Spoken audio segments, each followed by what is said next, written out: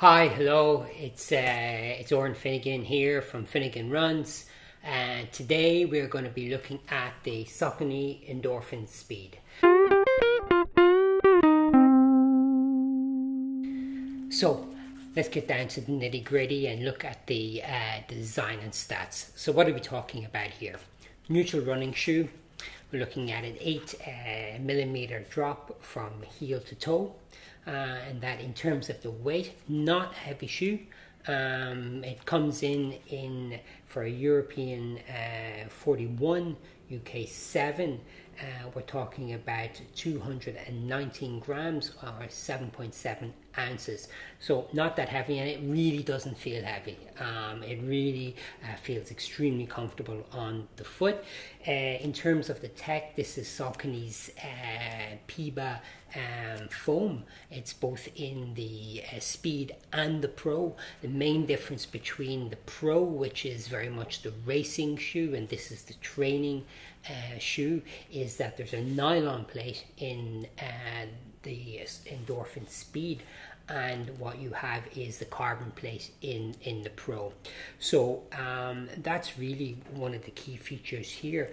Um, it's also got this roll um, technology and which we've seen as well which is quite interesting. Um, and I really do feel when I'm out there running uh, the the bit of a, a, pop moving forward with having the shoe on. Um, for me, I was really surprised uh, in getting this. Um, I did not think that the tech would work uh, the way it would and that I would like the shoe this much. Uh, it takes me a bit of an effort to get into a new shoe, but this one won me over straight away. What else can we look at in terms of the design?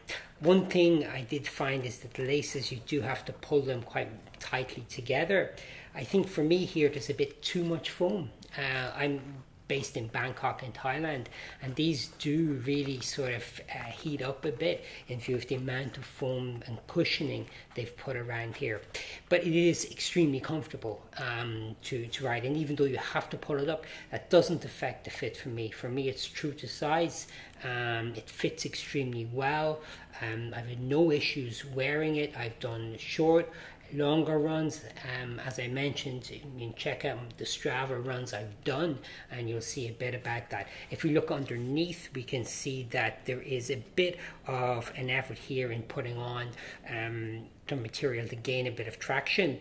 Um, they're not they're certainly not going to grip uh, the road extremely well, but I've never had any issues in slipping uh, and that I've always been wary in terms of the wear and by looking at it. Um, I've run in terms of types of terrain, road predominantly, but also gravel uh, and that, but nothing majorly off road. So uh, I can't really comment on what, how they react there. But looking at the foam, it looks a bit susceptible. But um, that's something that maybe you can add in the comments if you found uh, something uh, different. I think the upper mesh is really good. It's comfortable. Um, it doesn't certainly feel too hot. And as I said, being here in Bangkok, if uh, I'm going to feel heat in a shoe, it's going to be here. Um, so yeah, a winner all round in terms of the design and stats. So let's move on. What's it like out running? Well, I have to say this is one of the most comfortable shoes that I have in my collection. It really is my go-to shoe uh, at the moment. Um, I found um, for easy runs, for tempo runs, um, this really is a winner. Um, it's interesting. I mean, I think for me, um, I'm very much a, a, training shoe, tempo shoe, and a race day shoe. Um, that's how my collection usually works out, and it, it's it's certainly what what uh, works best for me. However, if you are looking just for one shoe, um, I think this is certainly one to consider. Easy runs. Uh, this morning I was just out on an easy run on this. Um, very comfortable. Um, then if I want to push the speed, I can really do that in these as well. The nylon plate works well. Um, you do get that bit of propulsion forward. You do get that comfort, but it's not as harsh as um, from what from what I understand, the Pro or certainly a carbon plated um, shoe. Um, it's in terms of price. Um, now that there's the two is released, this is going to be on sale. So I think you would get a good deal uh, on this. So look and check out the prices in your area. But certainly, I think uh, the deals will be on now with the two being released. And as I mentioned, initial reviews, and you'll see that um, on YouTube, uh, are not really noticing a lot of differences. Why? because it's a very good shoe. There's not a lot I think you can change in that regard. Types of distances, I can run 10Ks, half, uh, up to a marathon, I would certainly say as well, and do that uh, quite comfortably. Um, outside of that, uh, in terms of the um, the actual race itself, not much else to add. I would say that um, you know with the bit of a stack here, um, if you're, and I did find this a bit on gravel, it can be a bit um, uh, unwieldy, and um, there I would have a caution. Road, no problems at all, but certainly with more uneven terrain, and I've seen that a bit here on the streets here in, in Bangkok when they can be a bit uneven. I'm not completely uh, confident uh, in, in the shoe, but it's it's not a major detail, but it's one I think you should be aware of when you you uh, look into it. But um, outside of that, not much else to mention on the run. Um, extremely comfortable and uh, definitely something I could take out any day uh, of the week and usually do. So, quickly, in conclusion, um, this is a great shoe. Um, it's certainly one that has become very dear to my heart.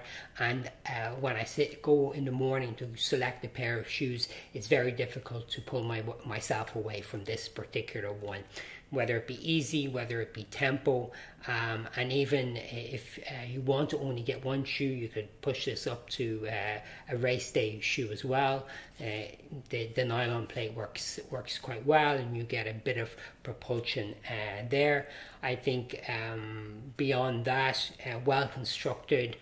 Now with the Endorphin Speed 2 out, you'll get this for a good price and um, from what we understand there's not a tremendous amount of difference between the shoes. Um, if I'm looking at any negatives that might turn me uh, in some way away from this, it's really hard to find one.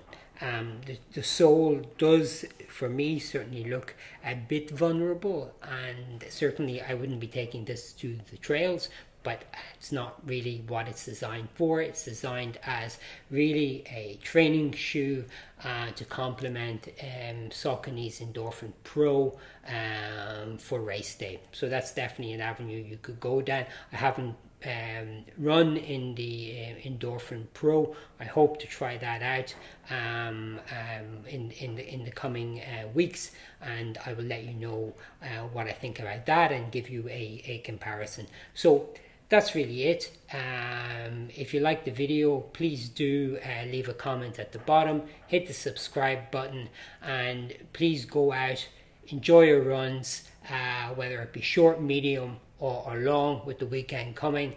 And look forward uh, to seeing you again here soon and giving you some of my thoughts on the shoes I'm running in. Have a good day.